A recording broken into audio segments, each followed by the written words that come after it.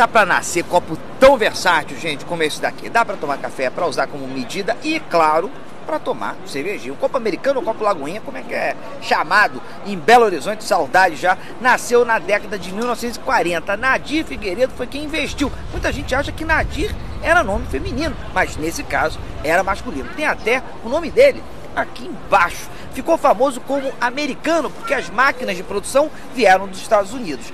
Em BH tinha um cantinho que esse copo era vendido como água no deserto, como cerveja no estádio. Era o bairro de Lagoinha. Lógico que a moçada mineira começou a deixar de lado a história de copo americano e chamar de copo Lagoinha. Ficou. Tinham vendedores que até batiam um copo no balcão para mostrar que eram duros na queda.